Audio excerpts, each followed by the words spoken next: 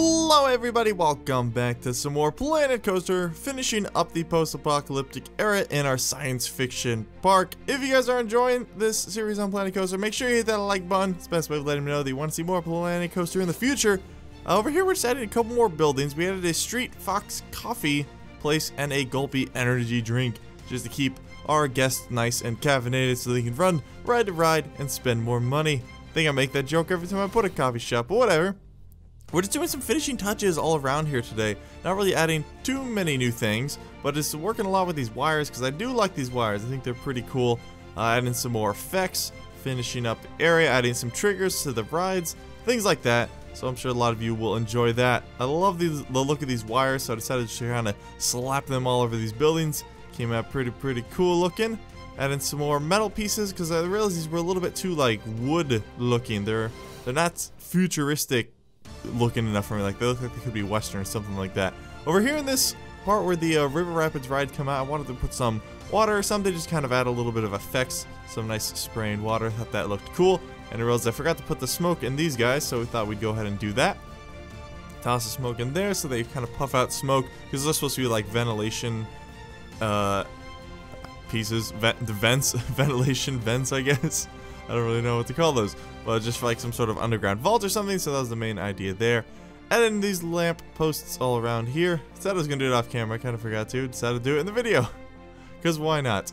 Over here I wanted to do a couple different things. People said uh, try putting lights in the water. Doesn't work super well. Like, as you can see, we put one down there. Didn't really do too much, unfortunately. Added some more bushes throughout there. We are going to add some triggers to the coaster today. I thought some of those looked pretty nice. So we did things like light triggers, and then we end up putting uh, some of the Kraken pieces down into the water. Kind of make it like a mutated radioactive creature or something. I wish you could change the color of the Kraken. That'd be cool if you could make him green or something, because the purple looks a little weird, but with the green lights and stuff, it comes out alright looking. Not bad, not bad. Added some more trees and stuff all throughout here. Uh, some people had some good ideas for uh, the skyscrapers. We tried adding like uh, like green things to them, like having them overgrown. Uh, it was a little bit too bright green for me. Looked like it was a little bit too alive, so I decided not to do that. Uh, it, it, just didn't look very good. And then other people had a good idea of raising the edges of the crater, which I tried to do when I first made it, but I guess I didn't do it enough, or they just fly in over time. But so we added some crater edges there, added some paths kind of in and around the buildings, just give a little bit more detail. Added a whole bunch of trees here, looking good just kind of fill in the space. Don't want too much stuff up there. A lot of people are saying that you could put like sparks of electricity or more falling dirt. It's so far away, you're really not going to see it, so I'd rather say the processing power for like the future sections of the park rather than just have those effects that really won't be seen by anyone anytime soon. Just because the, the, guests are at no point going to be near the building, so I didn't want them too highly detailed, or we didn't really need them too highly detailed because it'd be kind of unnecessary. They're just meant to be background pieces, not actually part of the set. Hmm. If you catch my drift. Still using these hobbit fences. These were from quite a few parks ago. We used them pretty often. These are the fences I made uh, for a Middle Earth park back in the day. Back in the like month and a half ago when we were working on that. And I finally decided to get rid of the gravel paths and just go with the natural paths. Uh, there were a few sections where it was being a little funky like right here so I had to go rebuild the path and so it gets a little wonky looking but that's okay. Doesn't need to be perfect around here. I think that looks a heck of a lot better. This Rapids ride made this part of the park really popular. Like, people are running their little butts on over here. Like, you see it's getting really busy down at the bottom left. Uh, so we do change up the pass a little bit, trying to alleviate some of that congestion. Again, not super worried about that sort of stuff because, again, we're not making money. It's just a sandbox park. So over here at some point, I think this is my try to put, like, the leaves and plants and vines on the sides of the buildings. Uh, but it's just too bright green. If they're more subdued or something, I think it'd be good, but I don't like the bright greenness. Like, as you can see, nothing really in this section the park is that bright green color. Even the, the trees we use, the ponderosa pines, are a much uh, darker green, and I think that's that's the reason I picked them. It's because they weren't overtly bright and lively looking. They're like they're still alive, like they do have green trees on them, but they're not crazy green. Uh, over here, I wanted to add another building. Originally, I wasn't going to do anything with it, but I decided that we should put a shop in it. Wanted to make two stories and realized that was a little bit too gaudy, so we'll go ahead and lower it down a little bit. Didn't want too big. It's supposed to be just a larger version of the shacks that we've seen. right here. I think we put, what, just a memento in there? Something like that. Yeah, put just a memento. Just a little souvenir gift shop. Because why not? Finishing up. The building we put next to it is pretty cool. We put a random building in here as well. And I think it came out pretty, pretty cool looking. Not bad, not bad. Has more wooden posts all throughout there. So this is the more of the standard shack design. We do end up adding a little bit more. Uh, trying new things, you know, just trying to make the buildings look a little bit different from one another. Despite, uh, except for the ones that we seem to copy and paste, but whatever. It's okay. It makes sense that there would be similar ones, I guess. And I love draping the power lines on these things. You guys, you guys will see me do that a lot this episode. I think they're really cool looking. We even put like a little crooked window there. Just to make it a little weird looking. Adding these things. Realizing, wait, I didn't really line these up very well, did I? Okay, let's just go and adjust all these. Move them a little bit. I just love how those look. We even end up putting like a spark effect there just to kind of... I don't know, the spark effects are cool. They kind of make it... That's what sparks sound like, in case you didn't know. Over here, I wanted to do like a big old building on stilts I thought would be pretty cool. Uh, so that's what we're kind of doing here. Just an unusually shaped building. It actually comes up really nice looking with the cool little ladder going up to the top. So that's the things I want to do in these sorts of parks where we're really pushing the limits of the game while pushing the traditional design sense rather than because I mean we have right next to it just that larger shack with a just a memento and it looks good but it looks like it could fit in with a lot of places. This is really a unique building that just really stands out on its own. And I was having a weird problem. There's this bug I was encountering where uh, the scenery pieces were sticking like it, it, it was a split second in the time lapse but for a while like they were sticking and it wasn't letting me move them around it was a little odd I've not seen that bug before but uh, whatever Connecting these guys up with the power lines. Making them look all nice and pretty. Adding some vents to the top and realize I forgot to put the little triangle there. There we go. Finish that up. So yeah, uh, random looking building, but I think it's pretty cool. Adding some sparks out there. Sometimes I wish the spark or the effects pieces were smaller because they are kind of those big tubes that shoot at the sparks. Like I wish it was just like a small point so I could actually put them on the wires, but this is okay. I think the illusion is complete. Looks pretty decent. There we go, finished off those two buildings, added some lighting to them. Made them look rather nice. I wanted a couple more buildings over here. Uh, we end up changing it to just one, I think. Because having a Cosmic Cow there really disrupted this flow of traffic. You can see it gets really busy right there. So we end up changing that quite a bit. We also put another medical area there. Over here I wanted to do what we were talking about earlier, was adding some triggers. So uh, we start off with the Kraken one, and then we end up doing a whatchamajigger what's the word?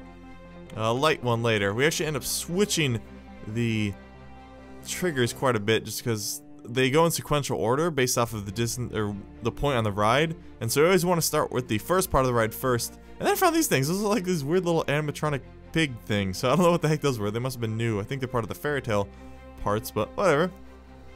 So you'll see here, we do like one over here, but then when you add another one that you want uh, previously on the ride, it'll move it it'll like reorder them, so it's kind of annoying. So we end up just deleting them completely. Just trying to figure out the timing uh, for when the trigger gets activated as opposed to when the coaster actually rolls in station. So it's a little late there, so we move it all the way back there. And that should work quite a bit better. Also wanted to rotate that guy around, and then there you go. So yeah, we want the coaster to go through right as the Kraken is flinging his little arms about. And then we have the speakers here, and these actually have a preset, which is the Kraken Roar. And so I thought it'd be fun to go ahead and set those up here. I'm just now realizing that we made this a separate trigger, but we ended up deleting these triggers, and I didn't fix it later. Uh, so it's actually supposed to trigger with trigger 2, but we ended up triggering it with trigger 1 as well. You'll see that in a minute when we have the lights inside the tunnel, so dang it. I realized we're gonna have to go fix that. I thought I, yeah, when I was filming the tour at the end of this video, we rode the coaster again, I thought I realized that it didn't actually play the Kraken sound, and that would explain it. I was pretty sure I noticed that. That makes sense. Added some more bushes and rocks all over the place. You guys know I love bushes and rocks. I should make an entire park that's just bushes and rocks. Bring your kids right on this rock. the old pioneers used to ride these babies for miles. oh, SpongeBob references. Who doesn't like them? The stupid trash cans are being kind of annoying. Not sure what they were doing. I guess we don't add those coaster lights yet. Uh, we're going to add a little bit more in here because I agree that parts of the River Rapid rides were a little bit boring. So I wanted to add some more stuff in here, kind of going with the underground vault theme that we had going on. I think it'd be pretty cool looking. Uh, doing something similar to the video on the first splashdown, but just like a different entrance to the vault. There you go. And then instead of the smoke, we have these dry ice things They're a lot more subtle. In fact, they're so subtle at nighttime, you really can't see them because they do illuminate better during the day. So when we ride through here at the tour at the end, we do come through at nighttime, so you can barely see the stuff coming out, but it's okay. I was trying to figure out if I want to do some triggered lights in there or something, but no, I like it being nice and subtle. I think that works a little bit better. I'm trying to figure out some more stuff to add. Again, the controls in here were driving me crazy. Uh, people recommended hitting T and changing to the first person camera. I did, it's still annoying. Because anytime, like I said, any, like I said in the previous video, anytime that you're working on such a low plane like this, uh, when you try and spawn an object in such a tight area, it, it's kind of annoying. And then you pop through the ground like that, like it just happened for some reason, you the camera just teleports to the ground, so it's a little annoying. Over here, I wanted to do like an underground vehicle or ships or something, just kind of being supported by wood. It's kind of like it's hidden down there, resting. Not really any clear ideas here, just kind of messing around the pieces, trying to figure out exactly what I want to do. Uh, the two of the rapids right at the end, I don't make it the entire... I don't make you guys sit through the entire ride, I edited it down to just the highlights, so don't worry. Uh, putting some green lights in here, we're going to time these with the trigger. I thought they'd be a little cool. Originally, I think the last one might be timed a little bit off, just because originally we had the Rapids ride kind of peeking through and that was spilling some of the green light in there. So we end up changing that. See right now, it keeps messing them up. It keeps spawning them. Uh, every time you add a new trigger, it spawns it back at the old one. So we went and changed that. So now we can just have them nice and sequential. There we go. And that should work. I just wanted to test it out real quick. See how it looked. Yep, it worked.